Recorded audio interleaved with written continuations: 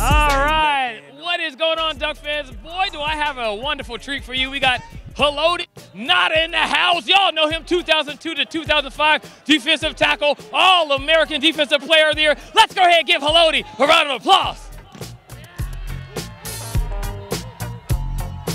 Welcome back, Haloti. How you feeling? Awesome. Great to be back. All right, so listen, Haloti and I were talking, and Haloti, you said that you got into fishing and hunting.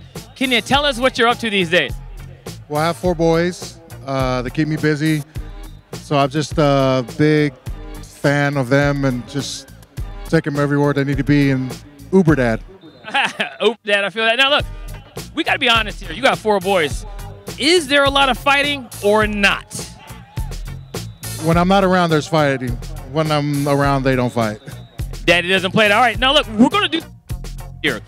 We're doing uh, would you rather questions. So I have a list of questions right here in my hand, and get ready to answer. Haloti, would you rather, and crowd as well for you, would you rather be able to eat anywhere for free or be able to get clothes from any store for free? Crowd, think about it. Haloti, answer it. I'm a big guy. I think I got to go with the food. Ah, well, of course. Hey, but you're not that big because I can push you around. I can push you around a little bit. Y'all saw me push Haloti around. All right, last, last, last question for the would you rather. All right, here it is. Would you rather always have a full phone battery or a full gas tank crowd? You think about Haloti, you answered. Well, I own vehicles, so I just full tank of gas for free for life will be definitely the way to go. I think everyone in this crowd right now would agree. Ladies and gentlemen, one more time, give it up for Haloti.